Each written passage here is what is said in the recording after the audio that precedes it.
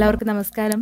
ഇന്ന് നമുക്ക് വളരെ ടേസ്റ്റി ആയിട്ടുള്ള ചെമ്മീൻ വെച്ചിട്ടുള്ള ബിരിയാണി എങ്ങനെയാണ് തയ്യാറാക്കി എടുക്കുന്നത് നോക്കാം. ഇത് ഒരുപാട് പേര് റിക്വസ്റ്റ് ചെയ്തിട്ടുള്ള ഒരു റെസിപ്പിയാണ് അപ്പോൾ ഇതിന്റെ പെർഫെക്റ്റ് ആയിട്ടുള്ള ഒരു റെസിപ്പിയാണ് ഞാനിന്ന് ഷെയർ ചെയ്യുന്നത്. വളരെ ടേസ്റ്റിയാണ് അപ്പോൾ എല്ലാവരും ട്രൈ ചെയ്ത് നോക്കുക ഈ ക്രിസ്മസിന്. അപ്പോൾ ഇറച്ചിയൊന്നും കൂട്ടാത്തവർക്ക് തീർച്ചയായിട്ടും ട്രൈ ചെയ്ത് നോക്കാൻ പറ്റിയ നല്ലൊരു ബിരിയാണിയാണ്. വളരെ സിമ്പിളാണ് ഇത് തയ്യാറാക്കി എടുക്കാൻ ചിക്കൻ ബിരിയാണി ചെയ്യുന്ന അത്ര പാടൊന്നുമില്ല. അപ്പോൾ ഇതെങ്ങനെയാണെന്ന് നോക്കാം.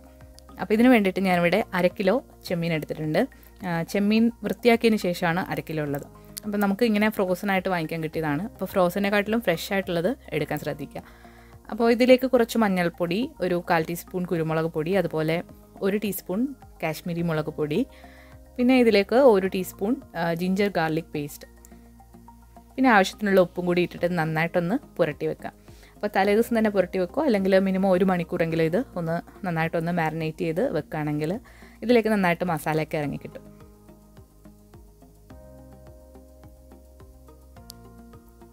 അപ്പോൾ നന്നായിട്ട് ഇത് പുരട്ടി എടുത്തിട്ടുണ്ട് നമുക്ക് മാരിനേറ്റ് ചെയ്ത് മാറ്റി വെക്കാം. ഇനി ഈ ചെമ്മീൻ നമുക്കൊന്ന് വറുത്തെടുക്കാം. അപ്പോൾ ഞാനിവിടെ ഒരു ഫ്രൈങ് പാനിൽ കുറച്ച് എണ്ണ ഒഴിച്ചിട്ട് രണ്ട് സൈഡും ഇട്ട് ഒന്ന് മുരിച്ചെടുക്കുകയാണ് ചെമ്മീൻ വേവാനായിട്ട് അധികം സമയമൊന്നും വേണ്ട. കുറച്ച് സമയം മാത്രം മതി. അപ്പോൾ ഒരു നാല് മിനിറ്റ് മതിയാകും ഇത് നന്നായിട്ട് വെന്തിട്ട്. അപ്പോൾ ഇത് മുഴുവനായിട്ടും വേവിക്കണമൊന്നുമില്ല. ഒരു പകുതി വേവാകുന്ന വരെ ഒന്ന് കുക്ക് ചെയ്തെടുക്കുക ഒരുപാട് ഇത് കുക്ക് ചെയ്താൽ ഭയങ്കരമായിട്ട് റബ്ബർ പോലാകും. അപ്പോൾ നമ്മൾ നോക്കിയിട്ട് ആവശ്യത്തിനുള്ള സമയം വെച്ചിട്ട് പതുക്കെ കുക്ക് ചെയ്തെടുക്കാം.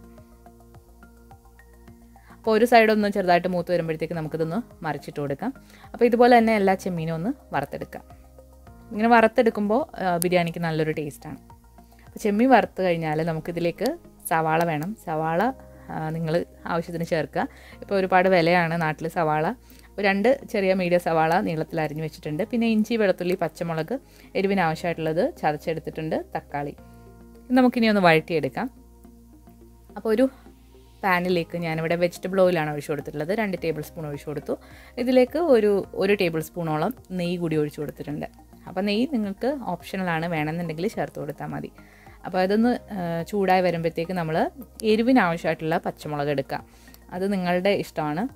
പിന്നെ ഒരു ചെറിയ കഷ്ണം ഇഞ്ചി അതുപോലെ തന്നെ അഞ്ചാറല്ലി വെളുത്തുള്ളി ഇത്ര കൂടെ ചതച്ചിട്ടാണ് നമ്മൾ എടുത്തിട്ടുള്ളത്. അത് നന്നായിട്ടൊന്ന് മൂത്ത് വന്നു കഴിഞ്ഞാൽ ഇതിലേക്ക് രണ്ട് മീഡിയം സൈസിലുള്ള സവാള നീളത്തിൽ അരിഞ്ഞതാണ് അതിട്ട് കൊടുക്കാം. നീളത്തിലോ പൊടിയായിട്ടോ നിങ്ങൾക്ക് അരിയാം.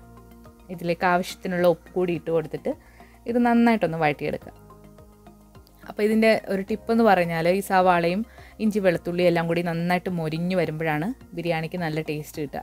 അത് നന്നായിട്ട് മൂത്തില്ലെങ്കിൽ നമ്മൾ വിചാരിക്കുന്ന ടേസ്റ്റ് ബിരിയാണിക്ക് കിട്ടില്ല. അപ്പോൾ നന്നായിട്ടൊന്ന് വഴറ്റിയെടുക്കാം. ഇപ്പോൾ നിങ്ങൾക്ക് കാണാം ഇത് നല്ല ബ്രൗൺ നിറത്തിൽ വഴണ്ട് വന്നിട്ടുണ്ട്. ഇനി ഇതിലേക്ക് പൊടികൾ ചേർത്ത് കൊടുക്കാം. അപ്പോൾ ഒരു കാൽ ടീസ്പൂൺ മഞ്ഞൾപ്പൊടി ഒരു അര ടീസ്പൂൺ കാശ്മീരി മുളക് പൊടി. മുളക് പൊടി നമ്മളിത് കുറച്ചാണ് ചേർത്ത് കൊടുക്കുന്നത്. അതുപോലെ തന്നെ ഒരു അര ടീസ്പൂൺ മല്ലിപ്പൊടി അര ടീസ്പൂൺ വീട്ടിൽ തന്നെ പൊടിച്ചു വെച്ചിട്ടുള്ള ഗരം മസാലയാണ്. അപ്പോൾ ഗരം മസാലയും ചേർത്ത് കൊടുക്കാം. അപ്പോൾ ഇതെല്ലാം കൂടി ചേർത്ത് കൊടുത്തിട്ട് നന്നായിട്ടൊന്ന് ഇളക്കി കൊടുക്കാം. അപ്പോൾ നമുക്കിതിലേക്ക് ഒരുപാട് മുളക് പൊടി മല്ലിപ്പൊടി മസാല ഒന്നും വേണ്ട. കാരണം നമ്മൾ കുറച്ച് ക്വാണ്ടിറ്റിയിലാണ് ഇത് തയ്യാറാക്കി എടുക്കുന്നത് അപ്പോൾ അര കിലോ കൊഞ്ചാണുള്ളത്. ഇത് നന്നായിട്ടൊന്ന് മൂത്ത് വന്നിട്ടുണ്ട്. അതിലേക്ക് ഇനി നന്നായിട്ട് പഴുത്ത ചെറിയ രണ്ട് തക്കാളി അല്ലെങ്കിൽ ഒരു വലിയ തക്കാളി. അത് ചേർത്ത് കൊടുത്തിട്ട് നന്നായിട്ടൊന്ന് വഴറ്റിയെടുക്കാം. അപ്പോൾ തക്കാളിയും നന്നായിട്ട് വഴണ്ട് വന്നിട്ടുണ്ട്. ഈ ഒരു സമയത്ത് ഇതിലേക്ക് നമുക്ക് മല്ലിയിലയും പുതിനയിലയും ചേർത്ത് കൊടുക്കാം. അപ്പോൾ അത് ഒരുപാട് അങ്ങ് ചേർത്ത് കൊടുക്കരുത്. ഒരു ചൊവ വരും. അപ്പോൾ അതൊരു രണ്ട് സ്പൂണ് ഇട്ട് കൊടുത്താൽ മതിയാകും. രണ്ടോ ഒന്നോ സ്പൂൺ നിങ്ങളുടെ ഇഷ്ടത്തിന് ചേർത്ത് കൊടുക്കാം.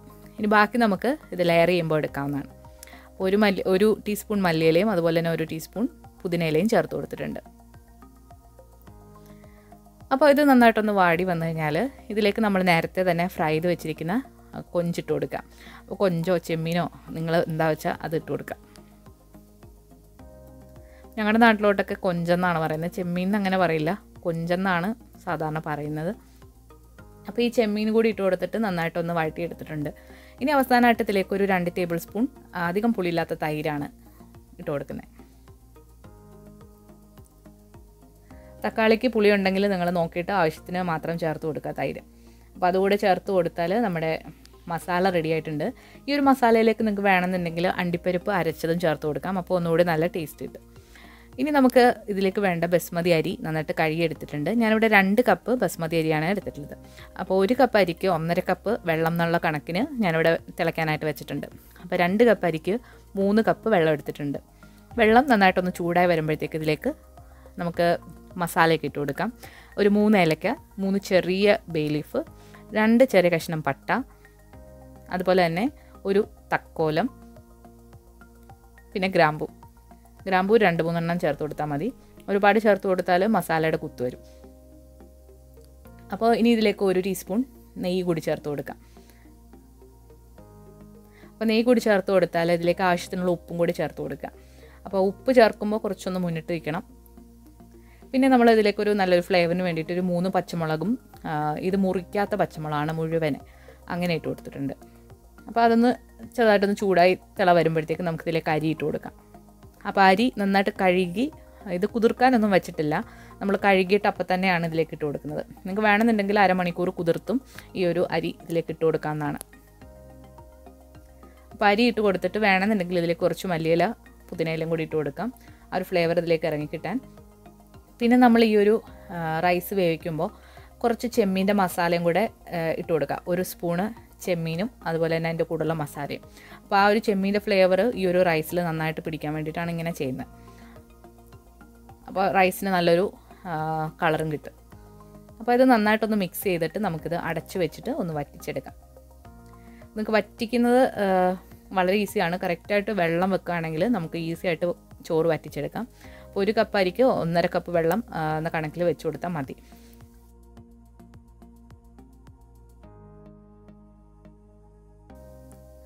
ഒരു പത്ത് മിനിറ്റ് കഴിഞ്ഞപ്പോഴത്തേക്ക് നമ്മൾ അരി നോക്കുകയാണ്. അപ്പോൾ കുറച്ച് വെള്ളം കൂടി ഒന്ന് വറ്റാനുണ്ട്. അപ്പോൾ നമുക്ക് ഇതൊരു അഞ്ച് മിനിറ്റ് കൂടി ഒന്ന് മീഡിയം ലോ ഫ്ലെയിമിലൊന്ന് അടച്ചു വെച്ചിട്ട് വേവിക്കാം.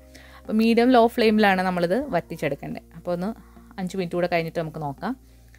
ഇപ്പോൾ ഒരു അഞ്ച് മിനിറ്റ് കഴിഞ്ഞിട്ടുണ്ട്. നമ്മുടെ അരി നല്ല പെർഫെക്റ്റ് ആയിട്ട് കുക്കായി വന്നിട്ടുണ്ട്. അപ്പം അരിയുടെ കളർ എന്ന് പറയുന്നത് ഒരുപാട് അങ്ങ് വൈറ്റും അല്ല ചെറിയൊരു മഞ്ഞ കളറിലാണ് ഇപ്പോൾ അരി ഉള്ളത്.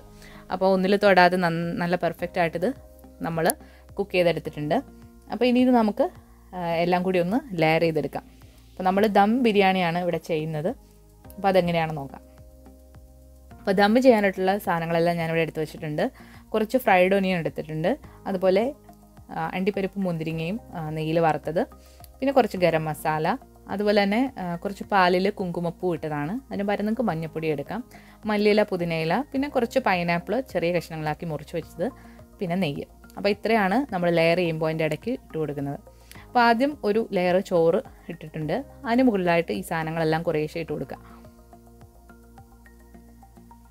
അതിന് മുകളിലായിട്ട് നമുക്കിനി നേരത്തെ തയ്യാറാക്കി വെച്ചിരിക്കുന്ന ചെമ്മീന്റെ മസാല ഇട്ട് കൊടുക്കാം. അപ്പോൾ അര കിലോ ചെമ്മീനുള്ള അളവാണ് ഞാനിവിടെ പറഞ്ഞിട്ടുള്ളത്. അര കിലോ ചെമ്മീന് രണ്ട് കപ്പ് റൈസാണ് എടുത്തിട്ടുള്ളത്. അപ്പോൾ നിങ്ങൾ ചെമ്മീന്റെ അളവ് അനുസരിച്ചിട്ട് റൈസിന്റെ അളവും ബാക്കിയുള്ള സാധനങ്ങളുടെ അളവും കൂട്ടി കൊടുക്കുക. അപ്പോൾ ഞാനിവിടെ രണ്ട് ലെയറായിട്ടാണ് ചെമ്മീൻ ഇടുന്നത്. അപ്പോൾ എല്ലാ റൈസും ഇതുപോലെ ഇതിന്റെ മുകളിലായിട്ട് നിരത്തി കൊടുക്കുക.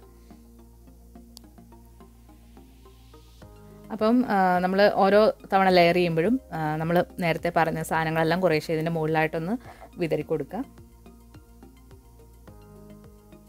പൈനാപ്പിൾ ചേർക്കുന്ന ഒരു പ്രത്യേക സ്മെല്ലും ഒക്കെ കിട്ടാൻ വേണ്ടിയിട്ടാണ്. ബിരിയാണിയുടെ ഒരു സ്മെല്ല് കിട്ടാൻ വേണ്ടിയിട്ടാണ്. അത് ഇല്ലാന്നുണ്ടെങ്കിൽ നിങ്ങൾക്ക് ചേർത്ത് കൊടുക്കണമെന്നില്ല. അപ്പോൾ എസൻസ് ചേർത്ത് കൊടുക്കുമ്പോൾ ഒരുപാടങ്ങ് നമുക്ക് ബിരിയാണി കഴിക്കുമ്പോൾ നമുക്ക് മത്ത് പിടിക്കും. ആ ഒരു ഇതിലാകും. പക്ഷേ ഈ ഒരു ബിരിയാണി കഴിച്ചാൽ മത്തൊന്നും പിടിക്കില്ല. അധികം മസാലക്കുത്തൊന്നുമില്ല നല്ല പെർഫെക്റ്റ് ആയിട്ടുള്ള ടേസ്റ്റാണ് അപ്പോൾ ഇനി ഇത് നമുക്കൊരു അലുമിനിയം ഫോയിൽ വെച്ച് കവർ ചെയ്തിട്ട് നമുക്കൊന്ന് ദം ചെയ്തെടുക്കാം. അപ്പോൾ ഞാനിവിടെ ഓവനിലാണ് ദം ചെയ്യുന്നത്. അപ്പോൾ നിങ്ങൾക്ക് സ്റ്റൗ ടോപ്പിൽ ഒരു പാനിന്റെ മുകളിൽ ഇത് വെച്ചിട്ടൊരു ഇരുപത് മിനിറ്റ് ഇതൊന്ന് ചെറിയ തീയിലിട്ട് ദം ചെയ്തെടുക്കാം. അപ്പോൾ ഞാനിവിടെ നൂറ്റി എൺപത് ഡിഗ്രിയിൽ ഒരു ഇരുപത് മിനിറ്റ് ഇത് ദം ചെയ്തെടുത്തിട്ടുണ്ട്. അപ്പോൾ നന്നായിട്ട് തണുത്തതിന് ശേഷം ഇതൊന്ന് തുറന്ന് നോക്കാം. അപ്പോൾ നല്ല പെർഫെക്റ്റ് ആയിട്ട് ഇത് ദമ്മായിട്ട് റൈസിലേക്കൊക്കെ നല്ലതായിട്ട് ഫ്ലേവറൊക്കെ ഇറങ്ങി വന്നിട്ടുണ്ട്. അപ്പോൾ വളരെ ടേസ്റ്റി ആയിട്ടുള്ളൊരു ചെമ്മീൻ ബിരിയാണിയാണ്. അപ്പോൾ എല്ലാവരും ഈ ക്രിസ്മസിന് തീർച്ചയായിട്ടും ഈ ഒരു ചെമ്മീൻ ബിരിയാണി ട്രൈ ചെയ്ത് നോക്കുക. ഇതിന്റെ കൂടെ നമ്മൾ കഴിക്കാൻ എടുത്തിട്ടുള്ളത് നാരങ്ങാച്ചാർ പപ്പടം പിന്നെ ഒരു സാലഡുമാണ് അപ്പോൾ ഈ ഒരു സാലഡ് വളരെ സിമ്പിളാണ് തയ്യാറാക്കിയെടുക്കാൻ അപ്പോൾ അത് എങ്ങനെയാണ് ഞാൻ തയ്യാറാക്കി എടുത്തിട്ടുള്ളതെന്ന് ഒന്ന് കാണിച്ചു തരാം.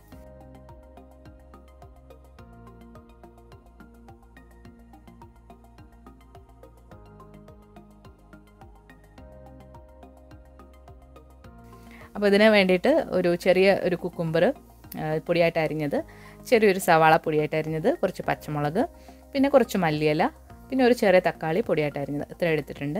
അപ്പോൾ ഇതെല്ലാം കൂടി നമ്മളൊരു പാത്രത്തിലേക്ക് ഇട്ട് കൊടുക്കാം.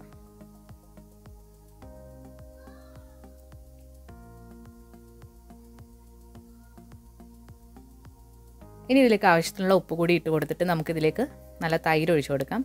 ഞാനിവിടെ കുറച്ച് കട്ടിലുള്ള തൈരാണ് ഒഴിച്ചു കൊടുക്കുന്നത്. ഇതിൽ വെള്ളം ചേർക്കരുത്. തൈര് കുറച്ച് കട്ട് നന്നായിട്ട് തന്നെ കട്ടിയിൽ ചേർത്ത് കൊടുക്കുക. അപ്പോൾ നിങ്ങൾക്ക് തൈര് എന്താണ് പിരിഞ്ഞ് പിരിഞ്ഞ് ഇരിക്കുകയാണെങ്കിൽ മിക്സിയിലിട്ട് ജസ്റ്റ് ഒന്ന് അടിച്ചിട്ട് ഇതിലേക്ക് ഒഴിച്ചു കൊടുക്കുക. വളരെ സിമ്പിളായിട്ടുള്ള ഒരു ചെമ്മീൻ ബിരിയാണിയും അതുപോലെ തന്നെ അതിന്റെ കൂടെ കഴിക്കാനുള്ള സാലഡും നമ്മളിന്ന് കണ്ടു. അപ്പോൾ തീർച്ചയായിട്ടും എല്ലാവരും ഇത് ട്രൈ ചെയ്ത് നോക്കിയിട്ട് നിങ്ങളുടെ അഭിപ്രായങ്ങളൊക്കെ അറിയിക്കുക. നല്ല ടേസ്റ്റി ആയിട്ടുള്ള ഒരു ബിരിയാണിയാണ്. അപ്പോൾ എല്ലാവരും വീഡിയോ ലൈക്ക് ചെയ്യാനും ഷെയർ ചെയ്യാനും ഒന്നും മറക്കരുത്. നമ്മുടെ ചാനൽ ഇതുവരെ സബ്സ്ക്രൈബ് ചെയ്തിട്ടില്ല എന്നുണ്ടെങ്കിൽ സബ്സ്ക്രൈബ് ചെയ്യാനും മടിക്കരുത്. പുതിയൊരു റെസിപ്പി വീഡിയോ ആയിട്ട് നമുക്ക് വീണ്ടും കാണാം. താങ്ക്